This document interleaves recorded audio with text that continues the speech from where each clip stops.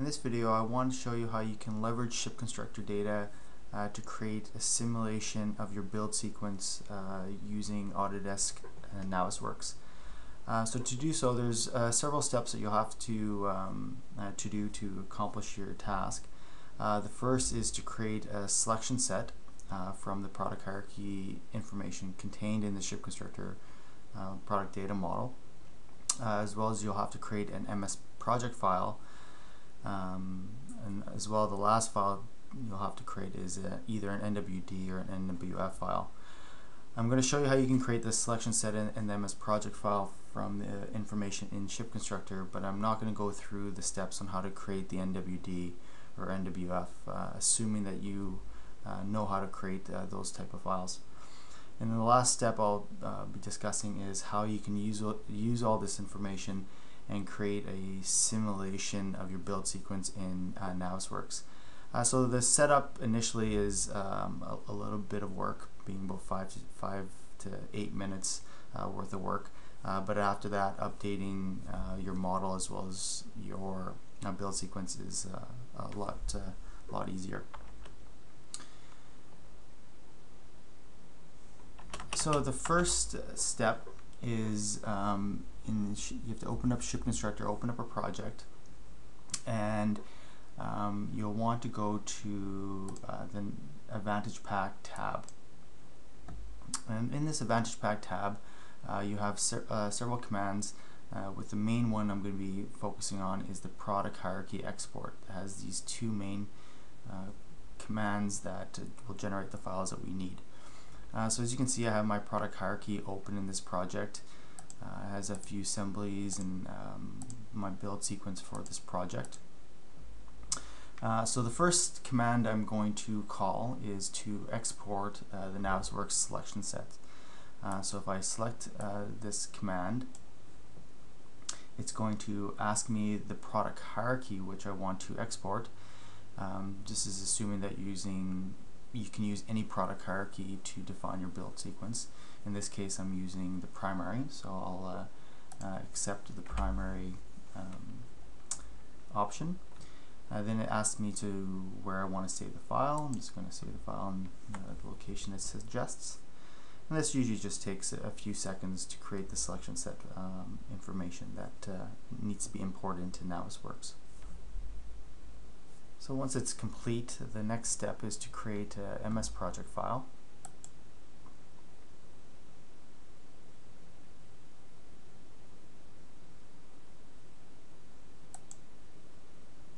And one of the options that it gives me here is to create a de default schedule or not.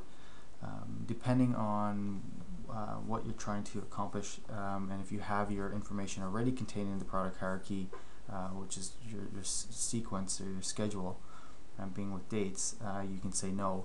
But in this case, I don't have any dates. And the reason why I would want to create a default schedule is so that when I do my simulation in uh, Navisworks, it has some time some time scale, so it can actually do a simulation on time. Uh, so the default uh, will just create um, a one-day process for absolutely every assembly that you have. So not typically uh, realistic, but at least gives you uh, a way to simulate this information, visually see your build sequence in, in Navisworks. So the dates won't be correct, uh, but the simulation will be correct. So I'm going to say uh, yes to create the default uh, schedule because I don't have the information uh, contained in this project uh, at this moment. And then it also asks me what product hierarchy I want to uh, export. And again, I have my build sequence in the pri primary product hierarchy, so therefore I'm going to select my primary product hierarchy. Uh, then it's going to ask me to save my file. I select the same directory that I selected for my selection set. And this can take um, anywhere from 30 seconds to anywhere about 5 minutes depending on uh, the size of the project and how many uh, assembly sequences or assembly stages you have uh, for your project. So after it's uh, created my MS project file, uh, I'm going to look at the directory that uh, contains these two files. So as you can see, I created my XML file for my selection set as well as my product hierarchy MS project file. So I'm going to open my MS project file uh, for several reasons. Um, the first is that you can kind of see that um, it reflects the same product hierarchy as uh, the assembly um, assembly structure in the ShipConstructor. So if we can kind of start looking at how this structure looks very similar to my ShipConstructor project.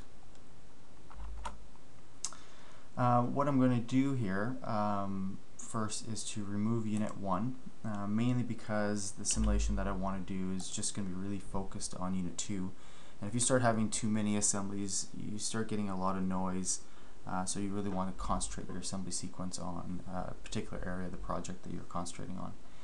Uh, my default settings for MS Project for no particular reason is to create these default uh, tasks as um, manually.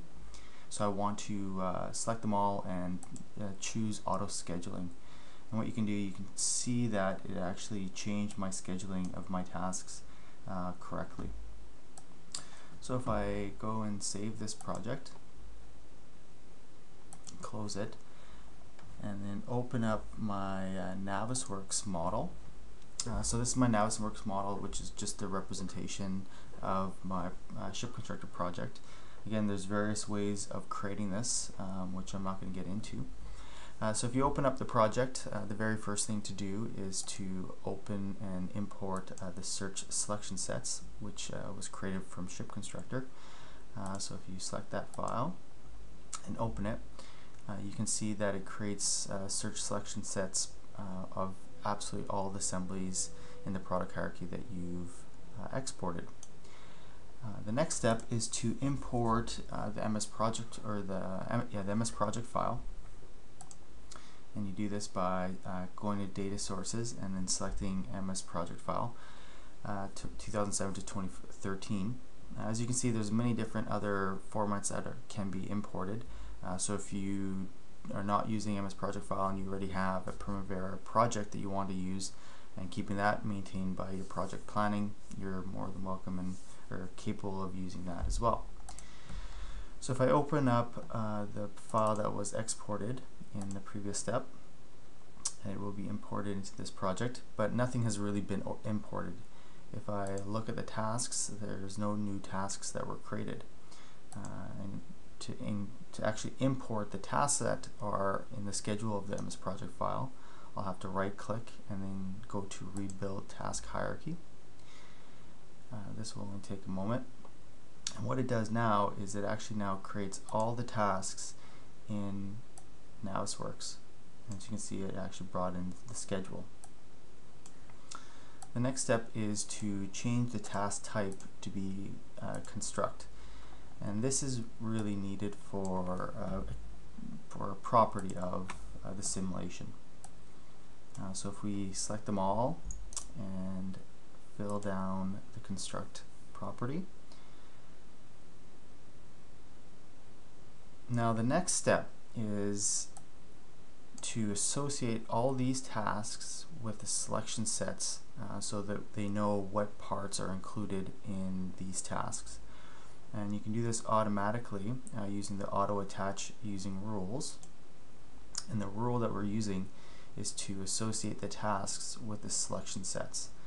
Uh, so if we go apply rules, it will associate all these tasks to these selection sets and at this time my configuration of my for my simulation is complete. If I want to do a little bit more options of uh, changing my colors and appearance of my simulation I can do it here. But for this uh, video I will not. So if you go to this uh, simulate tab and you click play you can see that it starts um, using my assembly sequence to for the model and constru constructing the model. And I can pause at any time. I can use all the navigation tools uh, that are available in Navisworks to simulate as it's being built. And you have options to uh, pause it and to rewind it and to go step by step. Uh, there's more settings here if you want to uh, reduce the scale and um, how many steps or how many uh, assembly sequences are going to happen per step.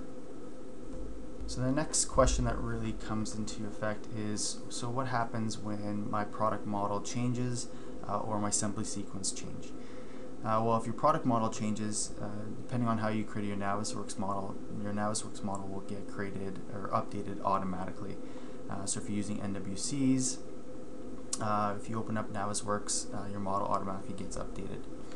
If your build sequence gets changed or if you're updating your um, MS project file, all you would have to do is go to your data source tab and then this is where we used to add the um, data source, but in this case we just have to click the data source that we have and say rebuild uh, task hierarchy.